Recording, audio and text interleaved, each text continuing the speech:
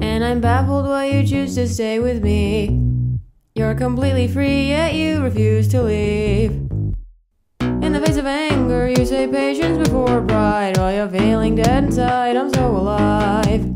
And it's all thanks to you that I survive. Guess I'll say thank you for lending me.